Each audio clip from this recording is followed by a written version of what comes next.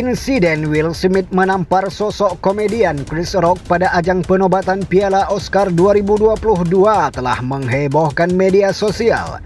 Kejadian itu tidak luput dari atensi berbagai komedian dalam negeri. Salah satunya adalah Ari Kriting. Diketahui, aksi Will Smith menampar Chris Rock disiarkan secara live. Hal itu membuat cuplikan video langsung viral dan dibagikan berkali-kali oleh berbagai akun media sosial. Bahkan, nama Will Smith dan Chris Rock menjadi trending topik di Twitter. Ari Kriting sendiri menyoroti kejadian itu dengan membagikan video berdurasi 9 detik yang menayangkan dirinya sedang menampar rekan sesama komediannya, Abdur Arsyad. Video tersebut Ari buat sebagai parodi insiden Will Smith menampar Chris Rock saat menjadi host di acara penobatan Piala Oscar 2022.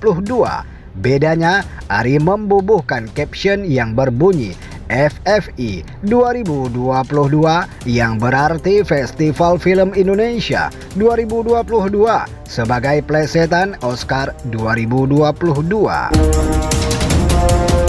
Sontak, video parodi Ari dan rekannya langsung menuai reaksi kocak dari warganet. Warganet mengaku terhibur dan membanjiri kolom komentar dengan lucu. Kurang kuat bang, hahaha, tulis salah satu seorang pengguna Twitter.